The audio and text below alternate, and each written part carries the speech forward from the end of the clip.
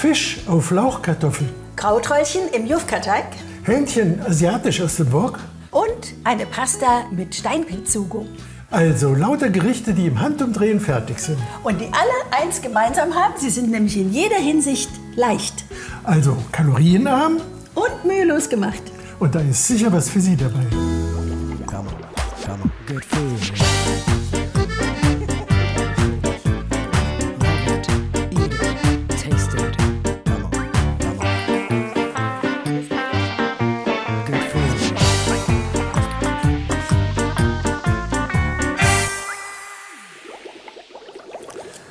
Als erstes machen wir jetzt Fisch auf Lauchkartoffeln. Fisch ist ja immer eine leichte Speise und hat ja auch den Vorteil, dass er schnell gar ist. Die Kartoffeln hingegen brauchen ein bisschen länger. Wir schneiden sie ungefähr wie Pommes frites. Und hier kommt auch schon der Fisch. Das ist ein wunderbares Stück Filet. Nicht etwa Lachs, wie man meinen könnte, von dieser leuchtenden Farbe. Es ist eine Nordmeerforelle. Aber bevor wir den Fisch überhaupt brauchen, müssen wir das Gemüse in den Weg setzen. Ich habe jetzt hier noch eine Lauchstange. Diese äußere Schicht mache ich weg. Und das ganz dunkelgrüne auch. Wollen wir hier nicht erstmal Butter rein tun? Genau. Aber wir wollen ja Kalorien sparen. Also jetzt nicht ein großes Stück, sondern ein Teelöffel, der genügt. Und dort hinein gibst du dann die geschnittenen Kartoffeln. Und den Lauch, den schneide ich jetzt erstmal längs in zwei Teile und ruhig auch noch mal andersrum drehen, sodass ich ihn geviertelt habe. Und jetzt in Zentimeter breite Stücke. Und das kommt einfach oben drauf und wird auf milder Hitze weich gedünstet. Also ich habe hier eine festkochende Kartoffelsorte genommen. Die sind nämlich weniger kalorienreich als die mehlig kochenden oder vorwiegend festkochenden Kartoffeln. Salz gleich von Anfang an rein. Kartoffeln brauchen ja immer ganz schön viel. Und ich gebe natürlich auch nicht nur Pfeffer, sondern auch in diesem Fall Muskat dran, weil das passt sowohl zum Lauch wie zu den Kartoffeln sehr gut. So, nochmal Und jetzt müssen wir die Hitze so klein halten, dass es dünstet, aber nicht ansetzt. Und damit es nicht ansetzt, geben wir ein bisschen von der Gemüsebrühe dran. Dann den Deckel drauf. Halt, Ah, natürlich ein bisschen Chili. ein ganz kleines bisschen Chili. Und jetzt Deckel drauf, ungefähr eine Viertelstunde leise dünsten lassen. So, hier habe ich schon mal die Pfanne. Ja, wir wollen nämlich einen kleinen Knusper machen, der Das ist- nachher auf, ja. den, auf den Fisch gestreut wird. Das ist dann nicht nur ein Kontrast im Biss und gibt nochmal einen zusätzlichen Geschmack, sondern ist auch eine Art von Beilage. Und diese Pumpernickelscheibe schneide ich jetzt erstmal in schmale Streifen und zerkrümel sie dann aber auch noch. Und dann nehme ich ein Stückchen, ein kleines Stückchen Butter. Wir wollen ja Kalorien sparen. Ja, und was auch noch sehr wichtig ist, sind Kräuter. Ich habe hier eben Dill abgezupft und natürlich auch ein bisschen Petersilie. Und das wird dann zusammengemischt. Und dann gebe ich diese Krümel dazu. Und die dürfen jetzt richtig kross rösten. Aufpassen, dass sie nicht verbrennen. Das merkt man nämlich nicht gleich bei dem dunklen Brot. Ja, aber man riecht's. Und die werden auch gewürzt noch mit, mit Salz oder mit irgendwas. Ich würde jetzt ein bisschen Schärfe würde ich jetzt noch dazu geben. Und zwar nehmen wir da einfach ein bisschen Chilipulver, Butan. So, das röstet schon. Dann kriegst du jetzt Nicht, gib mir nicht alles, sondern nur äh, die, gut die Hälfte. Und die andere Hälfte kommt ins Gemüse. Ah, okay. Dann gucken wir mal, ob das soweit ist. Und das rösten wir jetzt noch ein bisschen, dass es Biss bekommt. Ja, das ist Gemüse ist wunderbar. auch gut. Dann kann natürlich sofort, lass den Deckel weg. Du kannst die Kräuter schon mal reingeben. Der Fisch ist nämlich innerhalb von ein, anderthalb Minuten gar. Ich schneide den in zwei Stücke. Ich würze ihn von beiden Seiten einmal mit Pfeffer und einmal mit Salz und dann sofort in den Topf. So die schöne Seite nach oben, ein bisschen in, zwischen den, den Lauch und dann den Deckel drauf und anderthalb Minuten und schon ist der Fisch fertig und wir können servieren. So, jetzt knuspert es schön. Und daher kommt auch der Name. Und unser Fisch, der sieht jetzt genau richtig aus. Er ist nämlich oben noch glasig. Ich drehe ihn jetzt um und jetzt ist er von der Unterseite gar. Und diese obere glasige Seite, die zieht jetzt auf dem heißen Lauchbett nach und schon können wir anrichten. Das geht wirklich ruckzuck, wie versprochen. Dann gehen wir mal auf den, auf den Teller.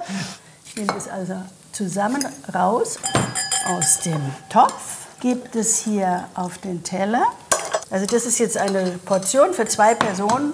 Da braucht keiner Angst zu haben, dass man da nicht genügend zu essen bekommt. Da wird jeder satt und glücklich. Ja, und dazu habe ich einen leichten Riesling von der Mosel, trocken und trotzdem sollte er nicht mehr als 11, 11,5 Prozent haben. Aber es geht wirklich nur um dieses Gläschen. Jetzt nicht gleich zwei, drei oder noch mehr trinken. Und gegen den Durst gibt es natürlich Wasser, das ist ja klar. Und ganz zum Schluss kommt natürlich der Knusper drauf, der dann wirklich oben, rundherum und überall für Biss und Farbe sorgt. Und der darf wirklich im allerletzten Moment direkt vorm Essen erst drauf kommen, sonst weicht er ja wieder auf.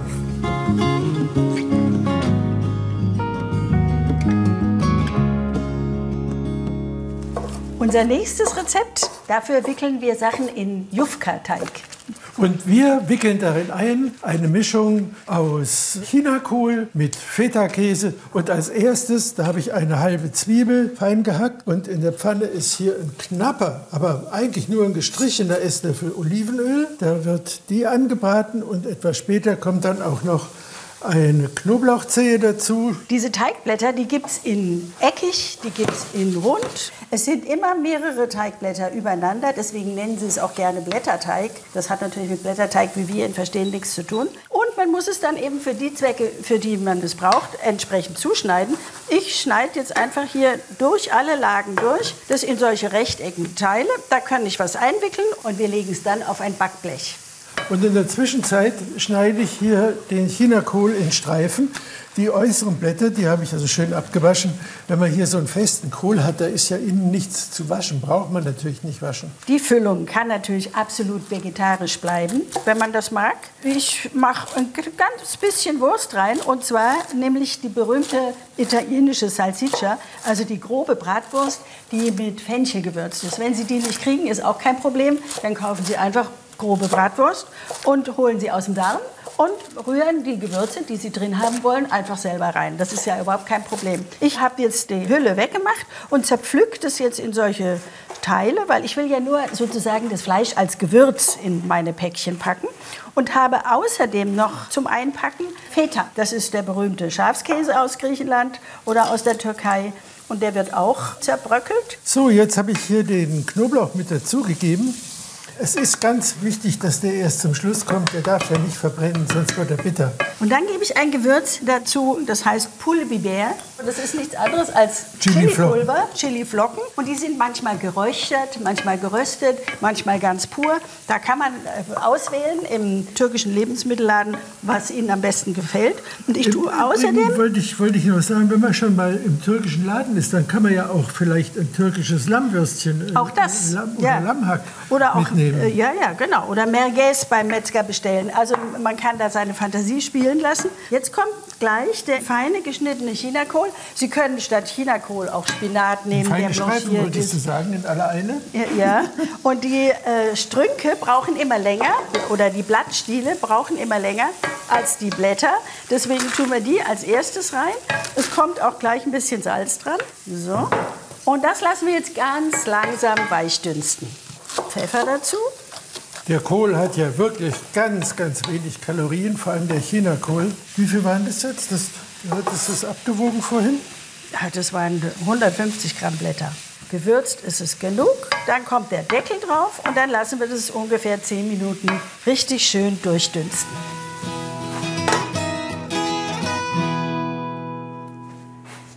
Diese Teigblätter nimmt man einzeln und legt es glatt aus. Und dann bepinsel ich jeweils das ganze Blatt mit ein bisschen Milch. Dadurch wird es weicher und kann sich schon mal ein bisschen besser an die Zutaten anschmiegen. Dann kommt drauf ein Löffel von unserem gedünsteten Kohl, der ja schon gut gewürzt ist. Einfach so auf ein Ende, so ein, zwei Esslöffel, ein wenig Feta-Käse da drauf verkrümeln. Von der Salsiccia ein kleines Stückchen. Also Sie sehen, gar nicht viel. Und noch einen kleinen Löffel Joghurt. Der gibt dann noch mal eine Verbindung.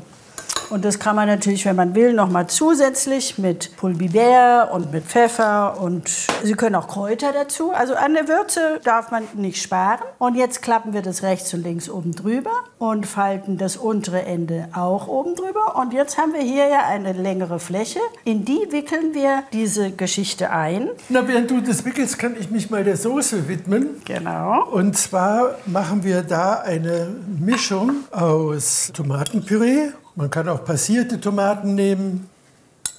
Und Tahini, das ist die Sesampaste, ist natürlich ein bisschen kalorienreich. Aber etwas Fett muss auch sein, schmeckt auch gut. Und man braucht ja nicht viel davon. Genügt Zwei für diese Esslöffel. Menge. Und die sind ja nur Genau. gestrichen voll. Und da kommt jetzt noch rein eine Knoblauchzehe. Die haue ich einfach hier so platt. Kann ich sie schälen. Dann kann man sie noch vielleicht zweimal durchhacken, damit sie auch vom Mixstab gut ergriffen wird. Und dann brauche ich Zitrone. Und zwar am besten so eine große amalfitanische oder die kommen auch aus Griechenland, aus Spanien. Und diese Zitronen haben die wunderbare Eigenschaft, eigentlich keine Kerne zu haben. Die sind ja so saftig, sehen Sie das? Da brauche ich nur eine halbe Zitrone und von der werde ich jetzt auch noch die Schale dazu reiben und dann kann man das Ganze mixen. Nur ganz dünn abzureiben. Schauen Sie, da ist wirklich nur das Gelbe. Das ist das Beste. So, dann nehmen wir einen Mixstab.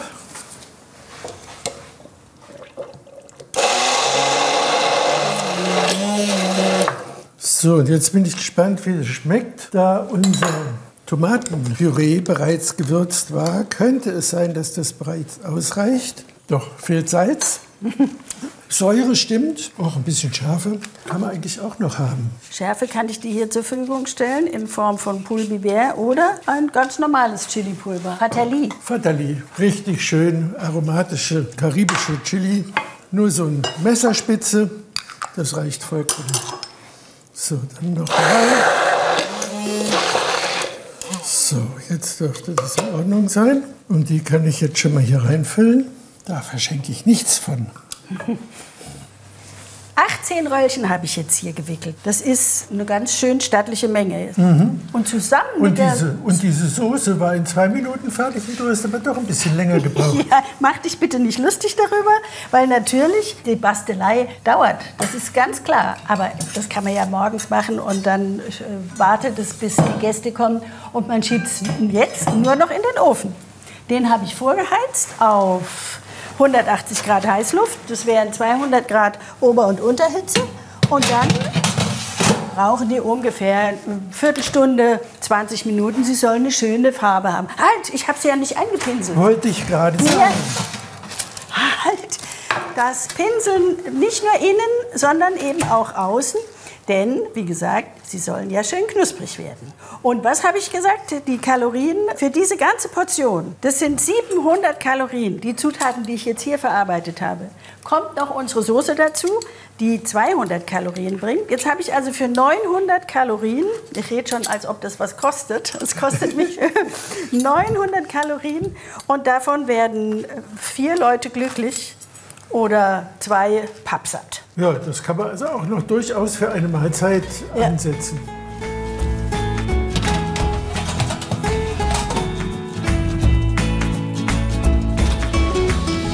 Und zu trinken gibt es KKD. Das ist dieser wunderbare Malventee aus Ägypten oder Hibiskustee.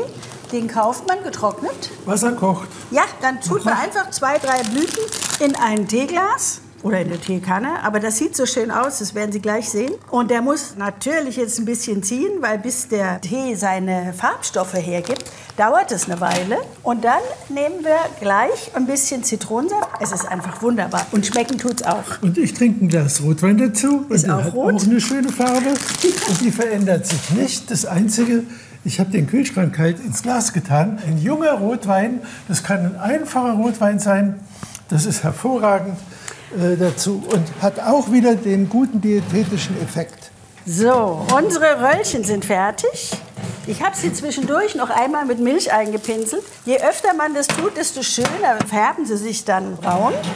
Und jetzt nehme ich mir einfach mal hier diesen Teller. So, ich tue mal einfach hier ein paar drauf. Die anderen stehen parat. Meinst du, man kann schon mal kosten? Ja, aber mit Soße hier. Super, oder? Wunderbar. Also ich will ja auf jeden Fall mit dem Brät von der Salsiccia, aber man kann es natürlich auch vegetarisch halten, dann hat man noch weniger Kalorien. Genau. Also, ich kann es nur empfehlen. Nachmachen.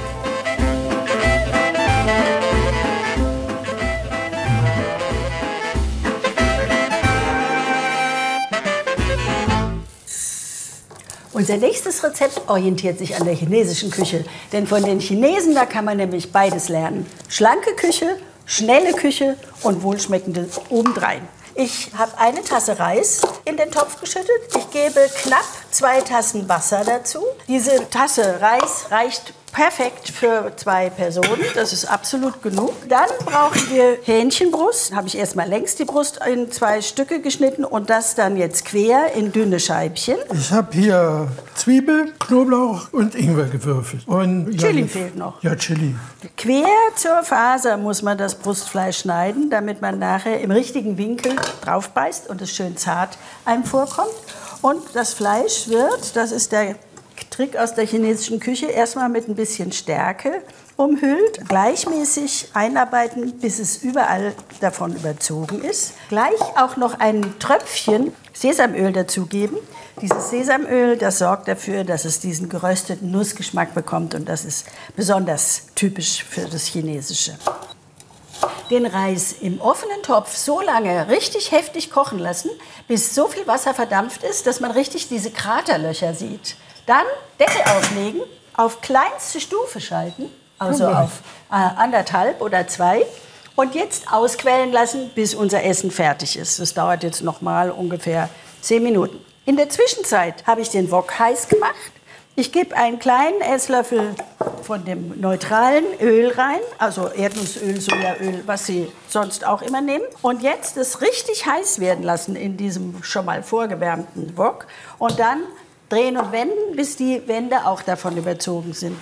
Und in dem Augenblick geben wir als allererstes das vorbereitete Hühnerfleisch rein. Direkt in die Mitte. Die ist ja die heißeste Stelle. Gleich obendrauf ein bisschen ein paar Salzkrümel geben und an die Seite vom Fleisch ein paar Krümel Zucker. Die karamellisieren sofort an der heißen Fläche und geben einen guten Geschmack. Und wir lassen jetzt das Fleisch erstmal 20 Sekunden lang, ohne es zu bewegen, in dem heißen Wok sitzen. Und gehen dann damit unten drunter und dann sieht man, wie sich das ganz leicht löst. Und kippt es einfach um, damit es jetzt auch auf der anderen Seite schön anbraten kann. Und dann kannst du mir schon mal geben die Zwiebeln. Zwiebeln. Beteiligte. Jawohl. Und jetzt fangen wir einfach an, immer wieder zu rühren und alles zu bewegen, damit die Zutaten im Zentrum des Woks drüber geführt werden und dann aber wieder an die etwas kühlere Fläche an der Wand ausruhen dürfen. Und dann schaufeln wir wieder ein bisschen Platz und dann kommt jetzt Ingwer, Knoblauch, Chili an die heiße Stelle. Knoblauch. Ingwer, Ingwer. Chili, alles wieder drüber schaufeln, Platz machen, die Zwiebeln, Frühlingszwiebeln rein, Paprika, also es ist ja schon mal eine sehr farbenprächtige Angelegenheit. Und was für das Fleisch zutrifft, dass es schön zart bleibt, trifft bei den Paprikaschoten und der Zwiebel zu, dass sie schön knusprig bleiben und dass die Knackig, ja. Fellstruktur nicht zerstört wird. Es ist alles knackig frisch. Wir geben ein äh, Löffelchen Sojasauce dran, am Brand ähm, angießen, dann kann es an der Topfwand bis zum Boden runter. Das ist, Ja, das ist Austernsoße. Austernsoße, auch. das schafft man sich so viel noch. Das reicht, das reicht. Und ich brauche jetzt eigentlich ein bisschen Sherry, Ja, kriegst von mir einen Apfelsaft. der geht auch, ja. Sherry und Brühe steht im Rezept, aber Apfelsaft geht auch. Zwei Esslöffel. Ja. Und wenn du jetzt noch ein bisschen Koriandergrün hast, dann wären wir mit unserem Gericht auch schon fertig. Schauen wir mal, was der Reis macht. Jawohl, den lockern wir jetzt mit der Gabel auf. Normalerweise koche ich den Reis ja immer im Reiskocher. Ich finde, dass das viel einfacher ist. Es ist einfach praktischer. Man füllt es ein, schaltet es ein, stellt es weg und alles gut. Geben jetzt eine Portion von unserem Hähnchen mit buntem Paprika und daneben, da kommt jetzt noch Koriandergrün drauf. Koriander immer ganz zum Schluss. Der ist hitzeempfindlich. Goldener Reis. Oh, und das duftet ja köstlich. Bitte sehr. Kannst du gleich Idee. probieren. Einfach ein bisschen aus dem Wok fischen, ja. So lobe ich mir schnelle und schlanke Küche. Oder?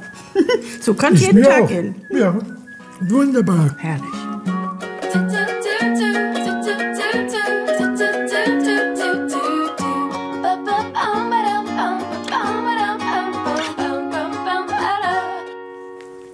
Ein Teller Pasta ist erlaubt, wenn es schnell gehen soll und wenn man nicht zu viele Kalorien haben will. Also als allererstes den Nudeltopf aufsetzen und Moritz hat auch schon den Wasserkocher in Bewegung gesetzt. So wird auf zwei Kochstellen wird für heißes Wasser gesorgt, also dauert es nur die halbe Zeit. Wir machen den Deckel drauf, damit es schneller geht und legen uns schon mal bereit die äh, Menge von Spaghetti, die wir brauchen. Sagen wir mal hier so eine halbe Packung. Das sind äh, Spaghettini, was? Spaghettini, ja, genau. Die gehen schneller. Ja. Also, wir brauchen für den Sugo, habe ich getrocknete Steinpilze schon mal eingeweicht. Mindestens eine halbe Stunde, aber besser noch länger mit kochendem Wasser bedeckt erstmal einweichen. Dann haben die äh, Steinpilze wieder viel von ihrer ursprünglichen Größe zurückgewonnen. Und nun wird es fein gehackt. Und ich hacke Petersilie, habe eine Zwiebel schon Ah, dann vorbereitet. fangen wir doch gleich mal mit der Zwiebel an. Die braucht ja auch eine Weile, bis sie schön weich ist.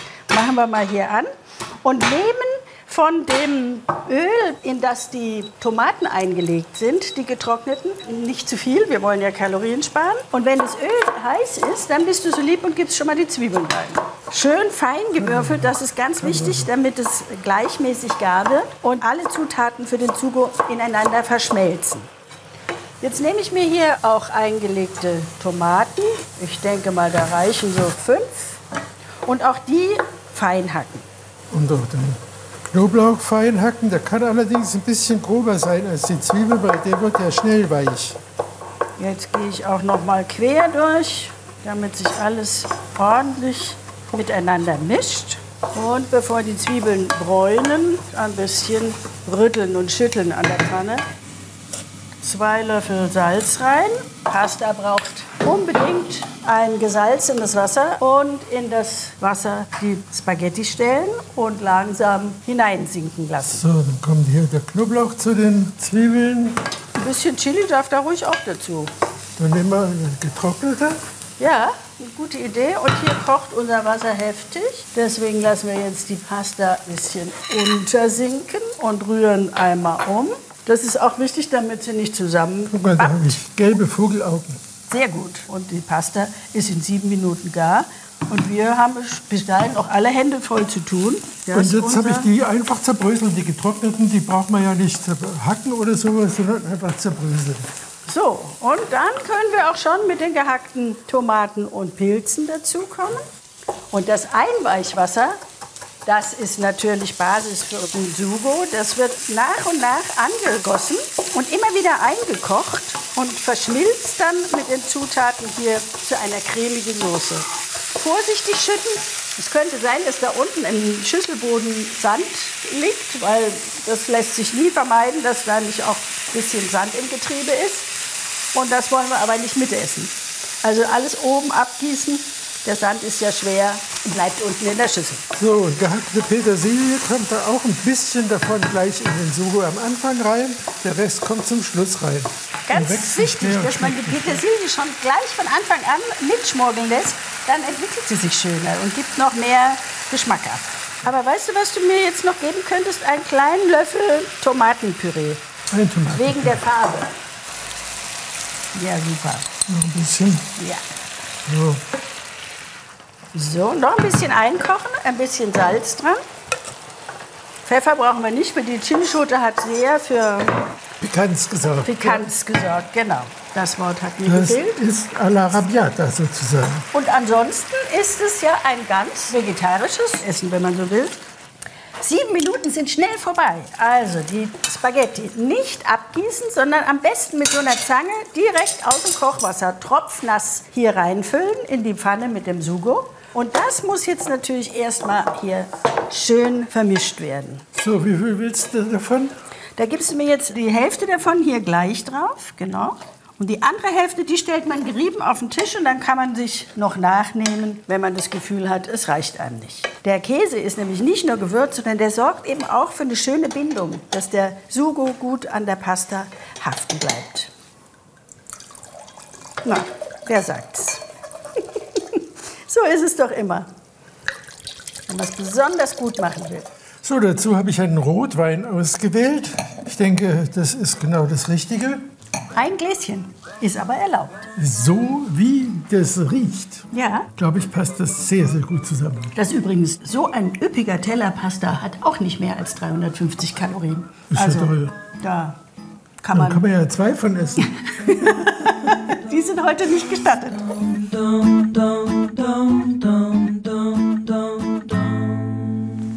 Natürlich gibt es auch was Süßes. Selbst wenn es schnell gehen soll und man Kalorien sparen muss. Ja, ist das Süße jetzt zusätzlich oder ist das das Hauptgericht Das muss man seinem Kalorienetat einfach zumessen. Dieses Dessert kostet jeden 300 Kilokalorien. Oh, dann nehme ich lieber eine Portion Nudeln noch. Und esse den Das muss Apfel man sich einfach aufteilen. Ja, das kann man natürlich auch machen, aber es gibt Menschen, die brauchen einfach manchmal was Süßes. Ich fange an und stürze den abgetropften, festgewordenen Joghurt aus dem Tuch in eine Rührschüssel. Aber zunächst mache ich in die Pfanne, die ich hier schon mal angestellt habe, einen Esslöffel Butter. Also da rechnet man ungefähr 15 Gramm mit einem Esslöffel. Und in diesem Löffel Butter werde ich jetzt erstmal die Äpfel, die der Moritz so liebevoll geschält und zugeschnitzt hat. mal von dem einen, der Genau. andere kommt gleich. Ich habe die geschält und dann geviertelt und dann werden diese Viertel nochmal jeweils gedrittelt in solche Spalten. schön nebeneinander legen, die Spalten, damit sie auch schön braten und ruhig ein bisschen mehr Schmackes geben. Und die Schale habe ich jetzt versucht in den langen Spiralen Oh, abzuschälen und die werden jetzt aufgehängt und dann getrocknet und dann kann man einen Apfeltee draus machen, auch ein gutes Getränk zum Nachtisch oder auch zu so einem chinesischen Essen. So, ich gebe jetzt hier von der Zitronenschale ungefähr die Hälfte von der halben Zitrone, gebe ich hier dazu. Die andere Hälfte reibe ich zu den Apfelstückchen. Gib mir mal noch mal eine Gabel, dann kann ich das besser umdrehen. So sehen die doch super aus. Ja, so wird das schon. Und du kannst jetzt mal so lieb sein, das schön glatt rühren. Also Sie sehen, wie schön der Joghurt cremig ist, wenn man ihn einen Tag lang hat abtropfen lassen. Jetzt nehme ich einfach so ein Löffelchen von dem Honig und gehe darüber spazieren. Ja, und dann nochmal schön schwenken und gucken, dass jetzt alle Apfelscheibchen von dem Honig überzogen werden. Und dann können wir nämlich schon ausmachen. Sieht super aus. Und das ist auch schon fertig? Das ist auch schon fertig. Jetzt kannst du das hier auf unsere Dessertteller verteilen. Einfach so einen schönen Haufen in die Mitte. Sag mal, das ist eine große Portion. Ja. Und dann kann man doch sagen, das ist ein sehr hübsches, schnelles, köstliches Dessert, das jeden glücklich macht. Ich habe noch ein paar Minzblättchen gefunden. Und die kann ich jetzt in Streifen schneiden. So, und dieser Kontrast zwischen der kalten Joghurtcreme und den heißen karamellisierten Äpfeln, das ist wirklich ein ganz extrem guter Genuss. Also, habe ich zu viel versprochen? Nee, sieht auch sehr hübsch Ein aus. schnelles Dessert, was köstlich schmeckt und wirklich nicht viele Kalorien liefert. Ja, und das war's dann schon wieder. Wir hoffen, das hat Ihnen ein bisschen Spaß gemacht. Und wir haben Ihnen ein paar Ideen liefern können, wie Sie auf schnelle Weise was Gutes auf den Teller bringen, was anschließend nicht auf der Hüfte sitzen bleibt. Ja, aber was ich sehr wichtig finde, es muss schmecken. Weil ich finde nichts schlimmer, als Diät zu machen, die nicht schmeckt. Tschüss, bis dann. Tschüss.